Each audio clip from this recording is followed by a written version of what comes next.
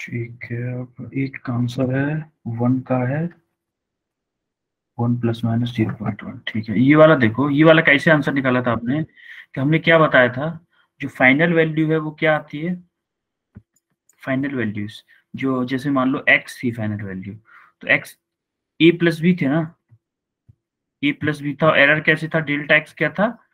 Delta a plus delta b अरे नहीं sir याद आ रहा। याद दिलाऊं आपको? जो एरर थी ये जो एरर थी इसको छोड़ो क्वेश्चन ही बताता हूँ आपको। इससे पहले ये वाला क्वेश्चन पहले बताता हूँ आपको तब समझ में आएगा।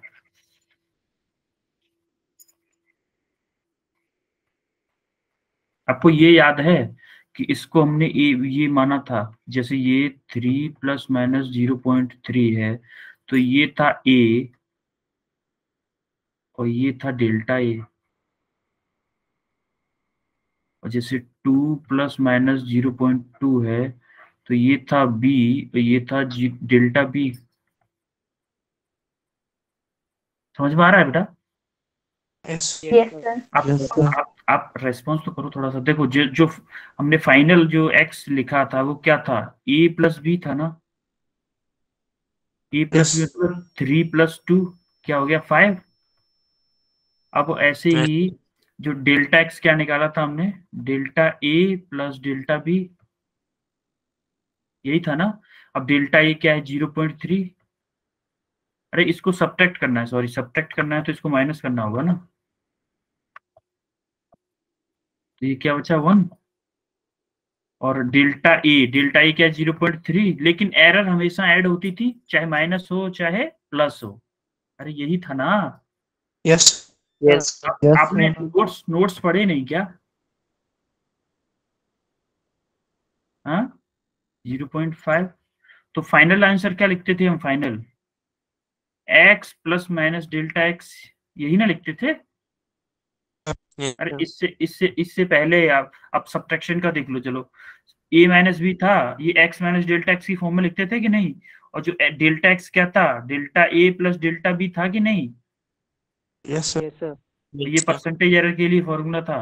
भूल गए यार आप लोग तीन दिन में। अब ये डेल्टा एक्स क्या था? एक्स क्या है? एक्स ये वाली निकाल ली one one plus minus delta x क्या निकाला है हमने? Zero point five zero point five. तो ये क्या आ गया? फ़र्स्ट वाले का आंसर हो गया। ये मैं करा चुका था आपको पहले भी।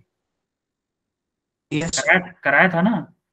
अब देखो Yes. ये वाला अब अब देखते हैं ये वाला ये वाला आंसर इसको क्या करना है? ऐड करना है। ऐड में क्या करेंगे? एक्स हमें निकालना है तो ए प्लस बी ये क्या है? ए ये क्या है? डेल्टा ए और ये क्या है? ये फोर बी है ये क्या है? डेल्टा बी अरे यही है ना? Yes sir Yes, a a और बी की Yes, वैल्यू ए और बी की value a plus minus delta a की फॉर्म में दी हुई होती है और b plus minus delta b. तो यह एक एक्स की वैल्यू कैसे आएगी? ए क्या है? टू प्लस बी कितना है? फोर। कितना हो गया? सिक्स। सिक्स ही ना हो गया। अब डेल्टा Yes, डेल्टा एक्स कैसे निकालेंगे? Delta a plus delta b अब डेल्टा ए क्या है? Zero point two.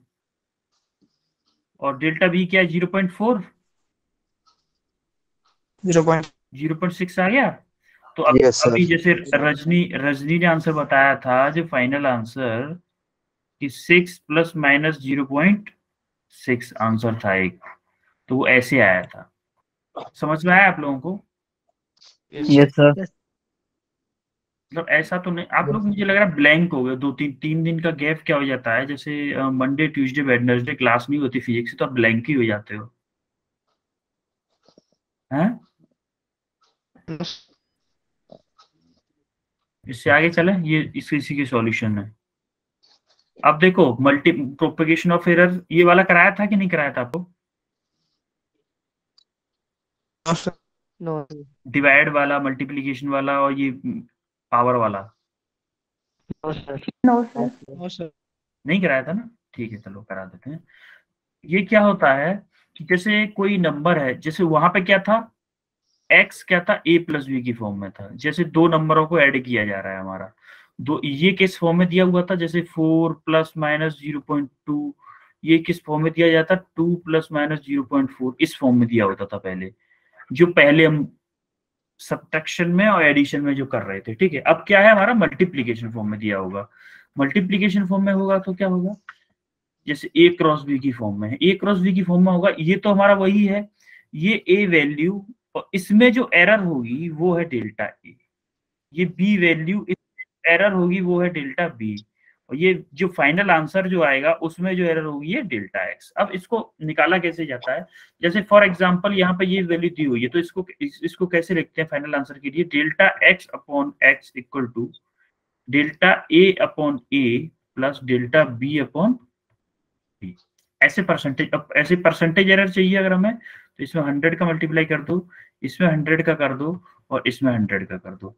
तो percentage error in x equal to आ जाएगा। Percentage error in a plus percentage error in b अच्छा ये, ये आपको देखो ये फॉर्मूला तो याद है ना रिलेटिव एरर का yes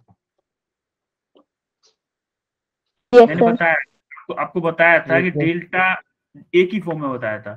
Delta a M upon a percentage error क्या था इसमें? इसी में हंड्रेड का मल्टीप्लाई करते थे तो परसेंटेज एरर आ जाता था कि नहीं?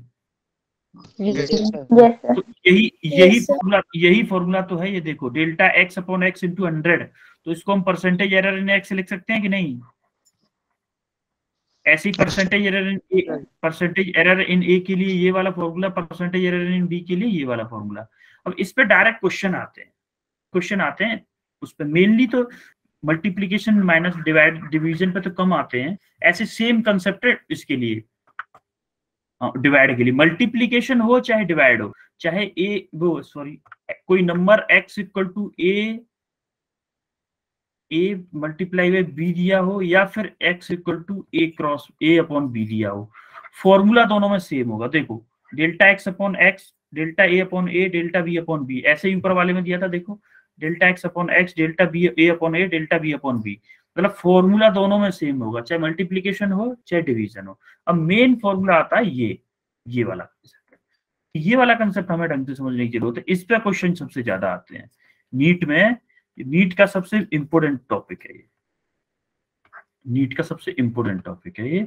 यहाँ से क्वेश्चन आपका इस जो एरर वाले प्रोपोर्शन से अगर कोई क्वेश्चन बनेगा, सबसे ज़्यादा यहाँ से बनता है।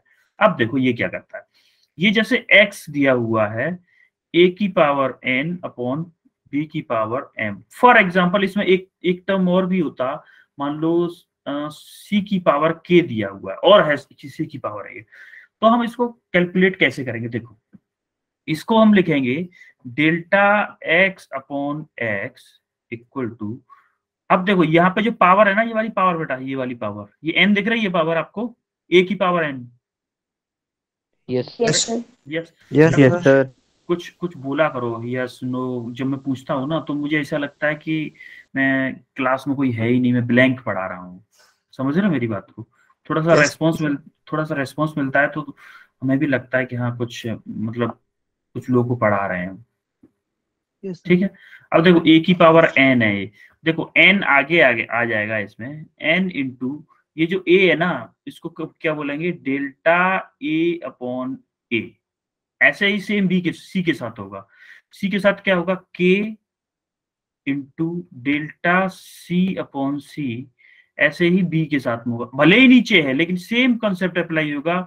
M into delta b upon b ये समझ में आया आप लोग? किसी को कंफ्यूजन इसमें? अगर इसमें दो चार और दो चार और होते ना दो चार और होते उनको भी सेम कंसेप्ट से लिख देते अब हम इसमें अगर मैं परसेंटेज एरर के लिए हंड्रेड का मल्टीप्लाई कर दूँ ईच टर्म में। हर एक टर्म में हंड्रेड का मल्टीप्लाई कर दिया मैंने। क्या मैं इस टर्म को इस टर्म को ये लिख सकता हूँ कि परसेंटेज एरर इन एक्स ये लिख सकता हूँ क्या? किसी को कोई कंफ्यूजन है इसमें? No. No, हाँ? अब देखो इस टर्म को इस इस वाले टर्म को क्या मैं ये लिख सकता हूँ कि n n तो n है ही n into percentage error in a ये लिख सकता हूँ क्या? Yes Yes. किसी को कोई कंफ्यूजन अब ये जैसे के तो के तो के के तो है ही के इंटू क्या मैं इस टर्म को ये लिख सकता हूँ कि परसेंटेज एरर इन सी लिख सकता हूँ क्या? Yes. Yes, अब देखो अब जैसे इस टर्म को इसमें m तो है ही m इंटू क्या इस टर्म को ये जो टर्म है इसको मैं ये लिख सकता हूँ कि परसेंटेज एरर इन बी हाँ? लिख सकता हूँ ना? Yes. Yes. Yes, अब अब अब ये बन गया हमारा एक फॉर्मूला ये जो फॉर्मूला है ना इससे आप इस न्यूमेरिकल्स मिला करेंगे। इस फॉर्मूले पे। जनरली मेनली तो इसी फॉर्मूले पे मिलेंगे लेकिन कभी आपको नंबर फॉर्म में पूछ रहे हो तो ये फॉर्मूला मेनली आपको ये फॉर्मूला भी याद रखना है ये जो फॉर्मूला है ये दो टर्म के लिए। मैंने तीन टर्म के लिए बताया आपको। थ्री टर्म्स के लिए ये टू टर्म्स के लिए। ये वाला फॉर्मूला और एक ये वाला फॉर्मूला ये दो फॉर्मूले आपके लिए इंपॉर्टेंट है। ठीक है? अब आते हैं क्वेश्चन पे। अब देखो, ये वाला क्वेश्चन आपको टू मिनट मिलते हैं। दो मिनट में इसको जरा सॉल्व करके बताओ, कैसे होगा, क्या होगा? If the error in measuring of the radius of sphere इस रेडियस स्फीयर की रेडियस नापने में टू परसेंट का लॉस है तो उसके volume then the error in measurement of volume volume का मेज़रमेंट करने में क्या परसेंटेज एरर आएगा? इसको जरा ट्राई करो एक मिनट। ट्राई करो आप।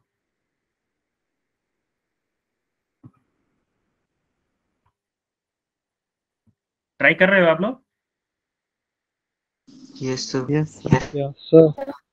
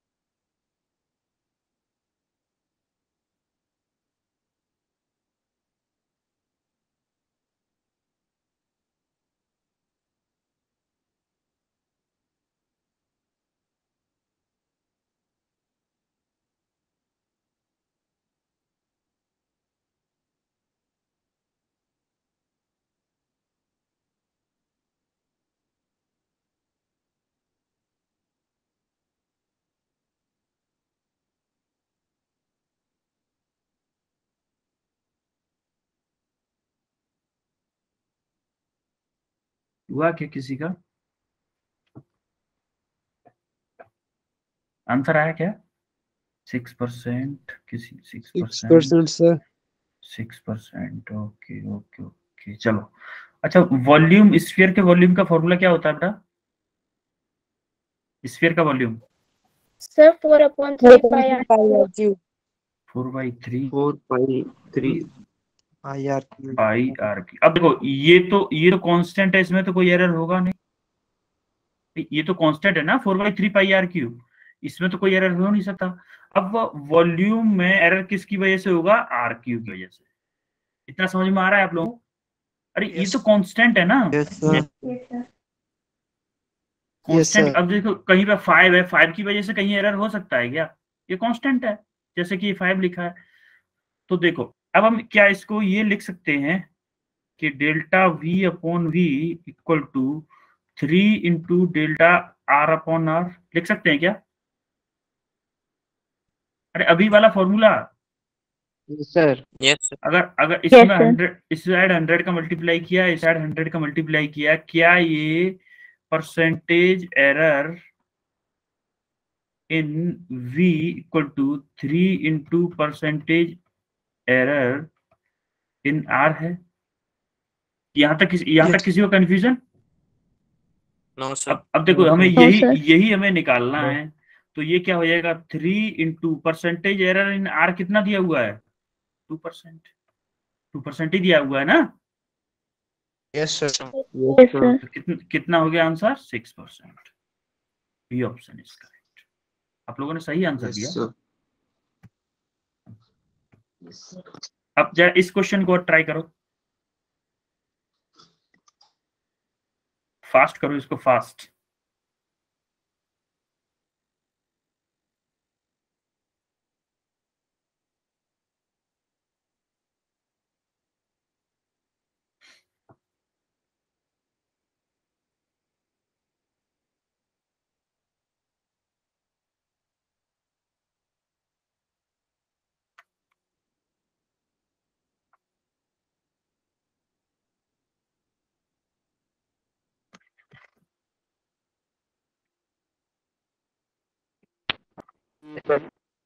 कितना आया?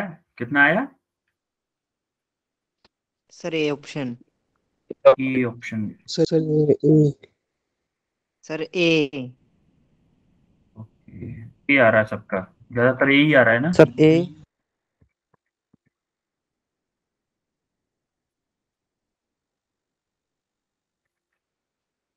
ये ऑप्शन फोर्टीन परसेंट आ रहा है ना? Fourteen percent, percent yes sir बिल्कुल बिल- बिल्कुल सही है आप लोगों को। क्या मैं इसको डायरेक्टली करूँ क्या? Percentage error in P equal to three into percentage error in A या थ्री ए ना पावर इसकी? ए की पावर क्या है? थ्री थ्री मैंने आगे ले लिया into percentage error in A plus अब बी के लिए अप्लाई करते हैं बी के लिए। अब बी के लिए करते हैं बी के लिए क्या होगा? ये पावर आगे आ गई। पावर को आगे ले लो। Into percentage error in B अरे यही तो किए थे ना। Yes, sir. किसी को कोई कंफ्यूजन हो तो तुरंत बता दें मुझे ठीक है? अब देखो प्लस सी की पावर क्या है? वन है। सी की पावर वन है ना? वन है कि नहीं? अरे। सर आपकी आवाज़ कट सर। आपकी आवाज़ कट Yes, रही है। मेरी आवाज़ कट रही है?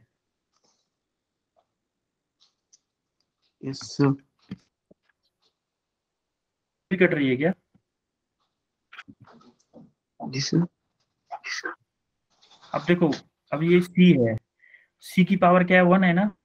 यहाँ पे देखो सी की पावर वन है और डी की पावर भी वन है। अब देखो वन आ गई सी की पावर वन आगे आ गई। और percentage error in C plus D की पावर वन है ना? डी की पावर अगर वन है यस तो डी की भी वन आगे आ गई और परसेंटेज एरर इन सी वो सी ने डी किसी को कंफ्यूजन इसमें? नो नो सर अब देखो परसेंटेज एरर इन पी तो हमें निकालना है। Three into percentage error in A A क्या है? वन परसेंट अरे यस है ना। अब देखो two two into percentage error in B percentage error in B क्या है? Two percent one percentage error in C percentage error in C क्या है? Three percent plus one into percentage error in D percentage error in D क्या है? देखो D D के लिए four percent तो क्या आ गया? Three plus two into two four plus three into three plus four four कितना आ गया? फोर्टीन परसेंट कुछ लोगों ने आंसर इसमें टेन परसेंट भी दिया है। एक ने दीक्षित चौधरी। दीक्षित आपने कहाँ पे मिस्टेक की थी? एक कुछ लोगों ने सिक्स परसेंट भी दिया है आंसर सिक्स भी लिखा है कुछ लोगों ने। बेटा यहाँ पे जो सिक्स वाले थे और जो टेन परसेंट वाले थे उनको कोई कंफ्यूजन इसमें? यहाँ तक? No sir no sir clear है? यस सर अब ये एक और क्वेश्चन इसका स्क्रीनशॉट ले लो। इसका स्क्रीनशॉट लो आप? ले लिया ले लिया स्क्रीनशॉट यस sir. इसको इसको इसको कल करके लाना है। कल की क्लास में इसको सबसे पहले इसी को करेंगे ठीक है? Yes yes sir Yes, sir. याद रखिएगा। अब आते हैं हम वर्नियर कैलिपर पर। अब देखो वर्नियर स्केल वर्नियर स्केल आपने प्रैक्टिकल किया है ना कॉलेज में वर्नियर कैलिपर वगैरह का? Yes sir? यस सर देखो, ये दिख रहा होगा।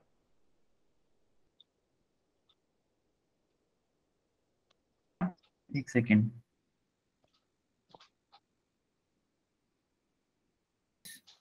ये डिस्टेंस कितनी होती है? आपका ये स्केल है नॉर्मल स्केल।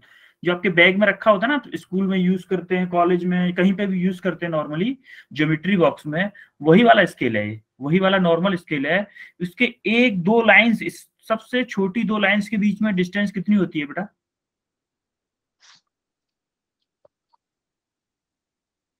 ये नहीं पता पॉइंट वन क्या?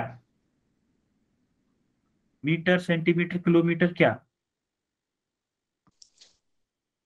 M M centimetre. मिलीमीटर देखो देखो one M M two two M M लिख रहा है कोई zero point zero one M M लिख रहा है कोई एक नहीं लिखा है हर शर्मा ने ज़ीरो पॉइंट वन सेंटीमीटर। ये तो या तो ये ज़ीरो पॉइंट वन सेंटीमीटर होगी या फिर बोल सकते हैं इसको वन एम एम अब एक बात बताओ मुझे कि यहाँ से लेके छोड़ो यहाँ से लेके यहाँ तक की डिस्टेंस कितनी होती है ये?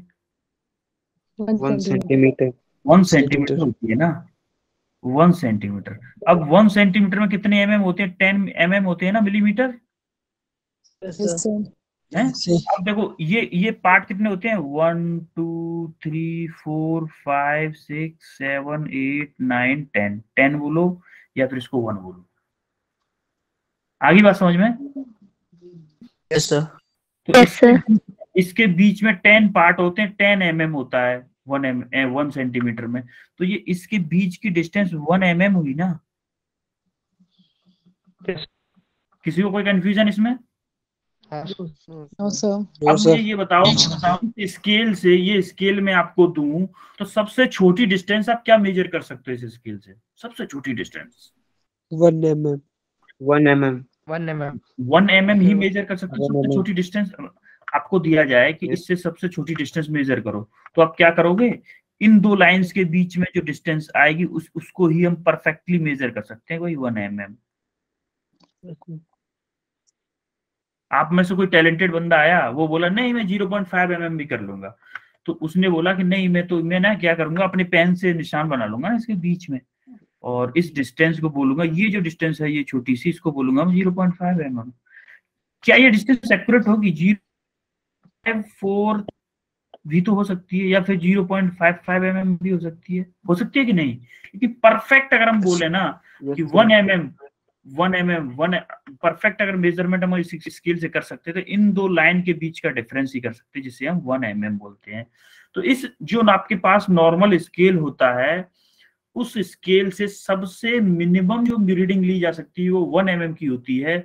तो उसका जो लीस्ट काउंट होगा उसका उसको बोलते हैं वो हो जाएगा वन एम एम। आई बात समझ में?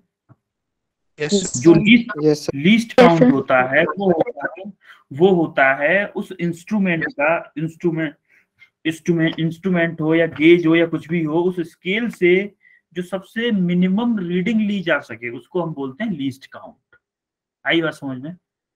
यस सर आपको आपको ये समझ में आ गया कि आपके बैग में जो स्केल रखा हुआ है उसका least count one M M है। यस सर ठीक Yes, है। sir. Yes, ये होता है वर्नियर कैलिपर ये कुछ पार्ट्स हैं इसके कुछ पार्ट्स के बारे में पढ़ते हैं कि क्या पार्ट्स होते हैं इसके कैसे क्या होता है। ये देखो ये आपको दिख रहा है ना यहाँ से ये जो लंबा लंबा दिख रहा है इसका कलर थोड़ा चेंज करते हैं।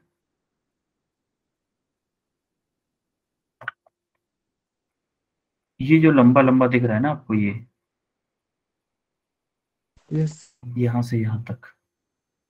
ये इसको बोलते हैं हम मेन स्केल जैसा कि यहाँ पे लिखा हुआ है मेन स्केल और इसको ये जो ये जो स्केल है ना, ये वाला, ये हमारा ऐसे स्लाइड करता है, ऐसे, यहाँ तक जा सकता है, यहाँ तक जाता है और यहाँ पीछे तक जाता है। ऐसे ऐसे ऐसे ऐसे स्लाइड करता है, ऐसे। ऐसे ऐसे स्लाइड कर सकता है ये। समझ रहे मेरी बात को? तो इसको बोलते हैं हम, इस स्केल को बोलते हैं वर्नियर स्केल और ये स्क्रू लगा है ऊपर, ये होता है कि यहाँ पे जैसे स्फीयर फंसा दिया गया है, ये आउटर डायमीटर के लिए यूज़ कर रहे हैं। मान लो स्फीयर का डायमीटर हम पता कर रहे हैं तो ये जब इस, इन दोनों के बीच में से फंसा देते हैं ना तो इस स्क्रू की वजह से स्क्रू क्लैंप बोलते हैं इसको, इस स्क्रू की वजह से इसको टाइट कर देते हैं कि हम जब उसको निकालें, जब इसको स्फीयर को बाहर निकाल के रखें और जब रीडिंग नापने के लिए वर्नियर कैलिपर को एक अच्छी जगह लेके जाएँ जहाँ पे हमें लाइट अच्छे से हो, जिससे कि हम इनके खानों को गिन सकें, इसके जो जो वो है ना पार्ट्स इसमें, इन सबको गिन सकें। तो उस, उसको ले जाते हैं हम थोड़ी अलग जगह पे। तो इस इस स्क्रू से हम इसको जो वर्नियर के वो सॉरी वर्नियर स्केल है, इसको टाइट कर देते हैं हम इस पे मेन स्केल पे। तो इसको बोलते हैं स्क्रू क्लम्प इस, इससे हम टाइट करते हैं। और ये जो है ये यूज़ की जाती है आउटर डायमीटर के लिए तो इनको बोलते हैं जॉर्स फॉर मीजरिंग आउटर डायमीटर्स और ये जो है ये वाली जॉज जो यूज़ की जाती है वो इंटरनल डायमीटर के लिए यूज़ की जाती है। मेज़रमेंट के लिए इंटरनल डायमीटर किसी का अगर मेजर करना है तो ऊपर से नापेंगे। और अगर आउटर डायमीटर तो ये नीचे वाली जॉ यूज़ की जाएँगी ठीक है? अब ये ये जो दिख रही ना आपको छड़ी सी बात पीछे की तरफ़ ये यूज़ की जाती है डेप्थ के लिए। जैसे एक गिलास है कोई, ग्लास है, उसकी डेप्थ अगर हमें नापनी है ना तो इससे नापेंगे इससे। ग्लास है या फिर कोई वीकर है या कुछ भी ऐसी चीज़ है जो, जिसमें हम इससे, इसकी हेल्प से नहीं नाप सकते, ऐसे गहराई वर्टिकल गहराई नापनी है या हॉरिजॉन्टल गहराई नापनी है तो वो नापते हैं इससे पीछे की तरफ़ जो दिख रहा है ना आपको, ये दिख रहा है आपको? स्टेम स्टेम ये यूज़ किया जाता है हमारा डेप्थ के लिए डेप्थ मेज़रमेंट के लिए ठीक है? ये क्वेश्चन आ जाता है कभी कभी ऑब्जेक्टिव्स में कि जैसे कौन सा पार्ट है जो डेप्थ मेज़रमेंट के लिए किया जाता है यूज़ बर्नियर के लिए पर तो उसमें बोलते हैं स्टैम्प स्टैम्प आई बात समझ में? Yes, अब देखो yes. ये ये कुछ हैं वर्नियर कैलिपर वर्नियर कैलिपर क्या क्या मेज़रमेंट किस किस मेज़रमेंट करने के लिए यूज़ किया जाता है? जैसे लेंथ मेजर कर सकता है विर्थ मेजर कर सकता है हाइट मेजर कर कर सकता है small regular objects small regular in the sense कि जैसे ये पेन है ये स्मॉल है और रेगुलर है कहीं से टूटा फूटा नहीं है। ऐसा नहीं है कि ये बीच से तोड़ दिया जाए तब नापे इसकी डिस्टेंस स्मॉल रेगुलर ऑब्जेक्ट्स और ये यूज़ किया जाता है diameter of cylinder and sphere यहाँ पे अगर सिलेंडर या स्फीयर फंसा दो इस जगह पे तो उसका आउटर डायमीटर नाप देगा ये, और इजिली तो measure for depth of the beaker and glass and internal diameter internal diameter यहाँ इनकी हेल्प से नापते हैं। तो ये चीज़ें हमें ये याद रखना है कि ये जो वर्नियर कैलिपर है, वो क्या क्या चीज़ें नाप सकता है क्या क्या चीज़ें मेजर कर सकता है। इन चीज़ों का भी हमें याद रखना है, ठीक है? ठीक है ना? अब देखो अब ये एनिमेशन के थ्रू हम समझते हैं कि एक्चुअली में एक्चुअली में ये वर्नियर कैलिपर जो है उसके ऊपर वर्नियर स्केल कैसे मूव करता है? मेन स्केल के ऊपर। अब ये ये आपको दिख रहा है ना ये जो मोशन कर रहा है ये वाला ये वाला। Yes, ये क्या था? वर्नियर स्केल तो ये क्या है? ये वाला जो स्टैटिक है वो मेन स्केल ठीक है? ये आपने एक्सपेरिमेंट किया होगा अगर कॉलेज में तो बहुत अच्छे yes, आपको। देखो हम लोग ना क्या कर रहे हैं इस वाले पॉइंट को इसको और इसका एक एक छोटा सा पार्ट इसको हम जूम करके बना रहे हैं यहाँ पे हमने क्या किया ये जो ऊपर वाली ऊपर वाला स्केल है ये वाला ऊपर वाला ये ये है मेन स्केल नीचे वाला वर्नियर स्केल अब क्या कर रहे हैं हम इसमें कि ये देखो आप एक चीज़ देखो जो मेन स्केल है ये जो मेन स्केल है उसमें टेन स्पेस देखो one two three four five six seven eight nine ten. Ten space है है कि नहीं? यहाँ तक टेन एम एम तक। ठीक है? लेकिन इसमें देखो one two three four five six seven eight nine ten. ठीक है? इसके टेन डिवीज़न यहाँ तक है। क्या हम ये बोल यहाँ तो देखो मैच कर रहे हैं ना एग्जैक्टली मैच कर रहे हैं देखो सेम लाइन से सेम लाइन से ये डिस्टेंस तो कांस्टेंट है ना yes. अगर ये डिस्टेंस नाइन एम एम है मान लो ये नाइन ही एम एम है ना मेन स्केल से देखो आप अगर अरे यार नाइन पार्ट यहाँ तक हो रहा है ये लिखा है कि नाइन एम एम लिखा है कि नहीं Yes. Yes, sir. ये डिस्टेंस नाइन एम एम है लेकिन नाइन एम एम जो वर्नियर स्केल है वो कितने पार्ट्स में डिवाइडेड है? टेन पार्ट्स में। टेन में ही डिवाइड है ना? देखो। Yes. दिख रहा है कि नहीं? तो क्या हम इसको ये लिख सकते हैं कि nine division on main scale equal to ten division on vernier scale क्या लिख सकते हैं हम?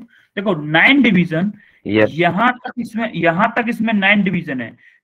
जो मेन स्केल के नाइन डिवीज़न जितना डिस्टेंस मेजर करेंगे उतना डिस्टेंस वर्नियर स्केल के टेन डिवीज़न मेजर करेंगे। क्या इस चीज़ से आप संतुष्ट हैं? सेटिस्फाई हैं? इसमें किसी को कोई कंफ्यूजन. No. sir. क्लियर है? ये Yes. ये ब्लू क्लियर है माइंड में। सर एक बार रिपीट करते हैं। देखो रिपीट करता हूँ दोबारा बेटा एक बार क्यों? दो बार कर दूँगा कोई दिक्कत नहीं कोई दिक्कत नहीं। फिर से रिपीट करते हैं। एक बात बताओ यहाँ तक इस पॉइंट तक इस वाले पॉइंट तक यहाँ तक हमें हमें देखो इस वाले पॉइंट पे ये जो नंबर है ना ये नाइन ऊपर वाले का नाइन और इसका टेन एग्जैक्टली मैच कर रहे हैं कि नहीं? एग्जैक्टली मैच कर रहे हैं यहाँ पे? अब ये बताओ जो मेन स्केल के नाइन खाने हैं नाइन जो डिवीज़न है नाइन डिवीज़न यहाँ तक जितना डिस्टेंस मेज़रमेंट कर रहे हैं क्या वर्नियर स्केल के टेन डिवीज़न उतना ही डिस्टेंस मेजर कर रहे हैं? देखो ना, आप one, two, three, four, five, six, seven, eight, nine.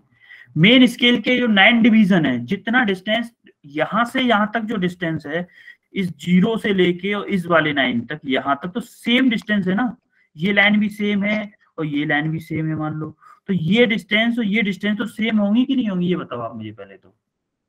Yes sir तो, तो देखो जो Yes, जो Yes, जो मेन स्केल है मेन स्केल है वो उतनी ही distance 9 M M distance 9 division में मेजर कर रहा है लेकिन जो वर्नियर स्केल है वो 9 एम एम की डिस्टेंस 10 डिवीज़न में मेजर कर रहा है। कर रहा है कि नहीं? आपको दिख रहा है? यस सर यस सर समझ में आया? ये जो मैंने लिखा है तो क्या ये मैंने सही लिखा है कि nine division on main scale nine division on main scale equal to होंगे ten division on vernier scale equal to ten division जैसे one two three four five six seven eight nine ten ten division on vernier scale जो भी distance measure करेंगे, उतना distance nine division on main scale measure कर देंगे। Clear हो गई? हुई ये बात? Yes Yes. Yes sir confusion है क्या किसी को? नो सर नो सर अगर फिर देखो। अब अगर ये सही है तो फिर देखो यहाँ पे क्या लिखिए ये देखो ten division on vernier scale vernier unit मान लो या डिवीज़न मान लो। Equal to nine division on main scale यही लिखा है ना nine division on main scale उल्टा लिख दिया उस इसको nine division on main scale equal to ten division nine division on main scale equal to ten division of vernier scale क्या one division on vernier scale हम ये लिख सकते हैं कि nine by ten division on main scale Yes, sir. Yes, sir. देखो देखो मान लो वो नाइन डिस्टेंस है। हमने इसको नाइन पार्ट में बांटा है, ठीक है? और यहाँ पे हमारी नाइन एम की डिस्टेंस को सी नाइन एम की डिस्टेंस को हमने यहाँ टेन पार्ट्स में बांटा है। होगा कि नहीं? मान लो टेन पार्ट्स में। तो क्या इसके एक डिवीज़न की डिस्टेंस और इसके एक डिवीज़न की डिस्टेंस से छोटी होगी ये वाली. इसमें टेन पार्ट्स में डिवाइड है और नाइन पार्ट्स में डिवाइड है। तो ये ये जो पार्ट होगा इसकी लेंथ ज़्यादा होगी और इसकी कम होगी नहीं होगी। तो इसकी लेंथ क्या होगी? Nine by ten M M होगी क्या? ये मान लो वन एम एम है अगर वन एम एम है तो क्या ये nine by ten M M होगी? Zero point nine M M होगी। अरे यार नहीं समझ में आई। देखो इतना समझ में आ रहा है कि ये ये डिस्टेंस भी नाइन एम एम है और ये डिस्टेंस भी नाइन एम एम है इतना समझ में आ रहा है कि नहीं आपको Yes. Sir Yes. Yes, sir. ये मेन स्केल है ये वाला मेन स्केल है ये वाला वर्नियर स्केल है इसके नाइन डिवीज़न के नाइन इसके nine division nine M travel कर रहे थे नाइन एम यहाँ पर थे और वर्नियर स्केल के हैं वो भी वो हमने नाइन एम एम वो ही टेन डिवीज़न डिवाइड किया है तो देखो टेन डिवीज़न को हमने नाइन एम वो नाइन डिवीज़न को हमने टेन में डिवाइड किया है। नाइन डिवीज़न को हमने टेन टेन पार्ट्स में डिवाइड किया है। तो एक एक डिवीज़न का पार्ट क्या होगा? नाइन बाई टेन होगा ना? Zero point nine M M एक तरह से मान लो हमने क्या किया है? नौ रुपए को नौ लोगों में बांटा है। और उधर क्या किया है? वर्नियर स्केल में नौ रुपए को दस लोगों में बांटा है। नाइन एम एम था नाइन एम एम यहाँ तक नाइन एम एम था ना? Sir. yes, तो मान लो नौ रुपए थे और यहाँ पे नौ पार्ट में आ गया ना हर पार्ट का। आया कि नहीं. हम Yes. नौ लोगों में बांटा है तो नौ में नौ का डिवाइड किया तभी तो वन रुपीज़ आया। अब देखो हमने नौ रुपए को दस लोगों में बांटा है तो zero point nine M M आएगा कि नहीं आएगा? Yes, sir. आएगा ना? Yes, sir. अब sir. यही यही यही पॉइंट यहाँ होगा। तो वन वर्नियर यूनिट होगी नाइन बाई टेन एम ओ नाइन बाई टेन यानी कि ज़ीरो पॉइंट सर आपकी होगी वॉइस क्लियर नहीं आ रही है। सर आपकी बात क्लियर नहीं आ रही है। वॉइस क्लियर नहीं आ रही क्या? एक को नहीं आ रही है? सबको सबको नहीं आ रही है वॉइस क्लियर सबको नहीं आ रही। सर सबको। एक सेकंड एक सेकंड जरा वेट करें। हेडफोन लगाऊँ एक बार फिर से।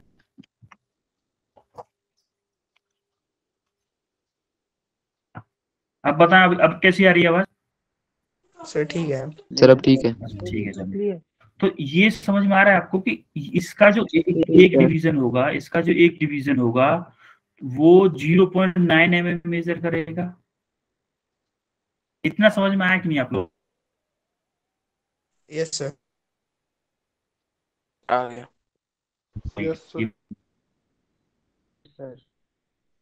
जो होगा सबसे मिनिमम रीडिंग होगा जो लीस्ट काउंट जिसे हम बोलते हैं वो लीस्ट काउंट का फॉर्मूला होता है one M S D one main scale division minus के one vernier scale division one main division minus vernier scale division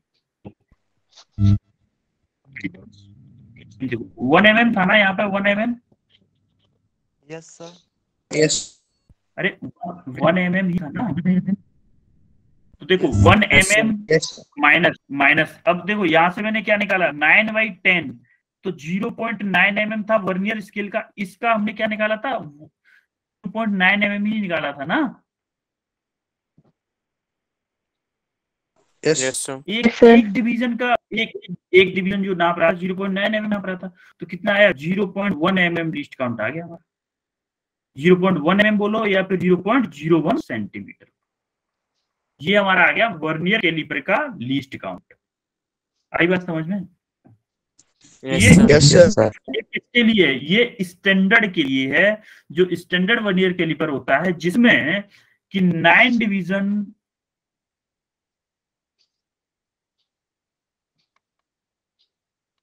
of main scale division of vernier scale के लिए है, जिसमें नाइन डिवीज़न मेन स्केल को ten division vernier scale है और जो main one L जो है one M L equal to one M M है। वन एच डी मतलब वन मेन स्केल डिवीज़न एक एम एम के इक्वल है। ये वाला ये वाला जो है ना? ये वाला। ये वन स्केल इसको बोलते हैं one M S D one M S D M S D मतलब main scale division main scale का डिवीज़न कितना है यहाँ पे? वन एम है ना? यस सर ये लिस्ट काउंट सिर्फ़ उसके ये लिस्ट काउंट सिर्फ़ उसके लिए है जिसका nine division of main scale equal to ten division of vernier scale के इक्वल ये आपको बेसिक वाला वर्नियर कैलिपर है वो समझ में आया कि नहीं आया आपको? ये बताओ पहले। Yes sir Yes, sir. Clear है? यस सर Yes, अब अब देखो अब देखो एक्चुअली में प्रॉब्लम्स कैसे आते हैं? कभी कभी एग्ज़ाम्स में से आपके साथ जनरली ऐसा नहीं होगा। नीट में ऐसे क्वेश्चन नहीं आते हैं लेकिन फिर भी हमें एक ज़्यादा खास लगना नहीं है। एक कंसेप्ट लगेगा छोटा सा अगर वो क्वेश्चन आ जाता है। कभी कभी आ जाता है क्वेश्चन तो फिर हम क्या करें? करना तो पड़ेगा। तो उसके लिए हम क्या करते हैं? क्वेश्चन ऐसे आता है जनरली एग्ज़ाम में कि जो जैसे आपको दिया था ना अभी nine division of main scale equal to ten division of vernier scale जो कि हमारा पीछे वाला हो। पीछे वाला जो वो था ना वर्नियर कैलिपर इसी ऐसे ही था ना nine division of main scale equal to ten division of vernier scale था। Yes sir yes yes sir अब अब मान लो क्वेश्चन आ गया कि 11 division of main scale equal to twelve division of vernier scale तो क्या करेंगे भाई? तो फिर क्या हमें वैसे ही डिराइव करना पड़ेगा द्वारा से? या फिर मान लो ऐसे आ गया कि 15 division of main scale equal to 17 division on vernier scale तो क्या इसके लिए कोई फॉर्मूला बनाए क्या तो इसको एक फॉर्मूले की फॉर्म में कन्वर्ट करने के लिए हमने क्या किया? लिस्ट काउंट का एक जनरल फॉर्मूला बनाया, जिसमें हमने माना कि N number of vernier scale n number of vernier scale division is equal to m number of main scale division m m means m m यहाँ पे क्या शो कर रहा है? जो मेन स्केल मेन m इसीलिए लिया गया है कि मेन स्केल में m आता है। मेन स्केल डिवीज़न में m आता है तो बाकी बाकी जो डिवीज़न हो गए, किसके हो गए? n के। तो ये जो 11 15 है ना ये 11 division of main scale equal to 12 ये किसकी वैल्यू है? ये हमने वेरिएबल ले लिया, इसकी जगह पे n और इसकी जगह पे ले लिया वेरिएबल m सॉरी इसकी जगह पे ले लिया n और इसकी जगह पे लिया m ये समझ में आ रहा है आपको? यस यस अरे पहले हमारा पहले हमारा जो nine division of main scale था उसकी जगह पे हमने वेरिएबल ले लिया m और इसकी जगह पे वेरिएबल ले लिया हमने n ये समझ में आया? तो हमने क्या किया? n division on n division on vernier scale equal to m division on main scale अब देखो वन वर्नियर स्केल डिवीज़न क्या होगा? M बाई n अरे उसमें क्या किया था? नाइन बाई टेन किया था ना? यस सर यस सर किया था कि नहीं? तो ये क्या था? ये ऊपर वाला m था नीचे वाला n था। तो m by N into M S D M S D मतलब मेन स्केल डिवीज़न अब देखो लिस्ट काउंट क्या था? One M S D minus के वन वी एस डी था कि नहीं? यस सर अरे आपको समझ में तो आ रहा है ना? आप लोगों को यस यस सर अब देखो one M S D minus के वन वी एस डी था। अब one M S D one M S D को यूँ का यूँ रखा वन वी एस डी की वैल्यू क्या निकाली हमने? ये निकाली है यहाँ पे M by N into M S D अब अब m by N into M S D अब वन एम एस डी यहाँ से कॉमन ले लिया। क्या बचा? One minus M by N अब यहाँ पे m क्या है? M क्या है? नंबर ऑफ़ डिवीज़न देखो ये वाला। Number of M S D number of main scale division which are equal to N number of vernier scale division अब इसको अब ये इसको समझना कैसे है? देखो, हमारा, हमने जो पहले, सबसे पहले क्वेश्चन क्या किया था? सबसे पहले ये वाला था ना हमारा वर्नियर कैलिपर ये वाली कंडीशन थी वर्नियर कैलिपर की सबसे पहली वाली, कि nine division on main scale equal to ten division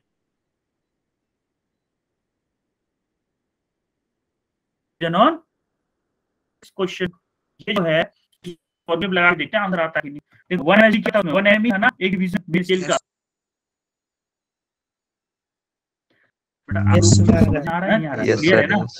देखो उसमें वन वन डिवीज़न जो था वो वन एम एम का था। अब देखो वन माइनस एम क्या है यहाँ पे? देखो एम नाइन है ना? यस सर एम नाइन है एम एन क्या है? टेन है देखो। टेन टेन है टेन है। अब देखो वन इंटू यहाँ से क्या आया? One minus zero point nine तो आंसर क्या आ गया? Zero point one M M आया कि नहीं आया answer least count yes yes हमने पहले क्या निकाला था? देखो यहाँ पे देखो zero point one M M निकाला है कि नहीं निकाला है? देखो। निकाला है ना zero point one M M इसका मतलब हमारा जो Yes, हमारा जो फॉर्मूला है वो सक्सेस हुआ भाई। ये फॉर्मूला हमारा स्टार फॉर्मूला बन गया। स्टार फॉर्मूला बन गया और इसी फॉर्मूले को हम लोग हर बार यूज़ करेंगे लिस्ट काउंट निकालने के लिए। जनरली 90 परसेंट केसेस में यही फॉर्मूला यूज़ होगा आपका लिस्ट काउंट